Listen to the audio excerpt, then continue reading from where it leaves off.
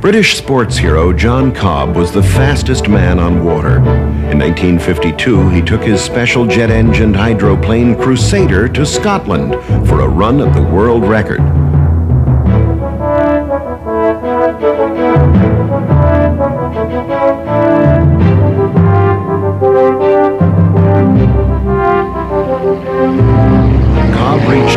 206 miles per hour, 28 more than the old record, as he sped across Loch Ness. But the run ended in tragedy when the Crusader shattered and exploded in pieces at the end of the run.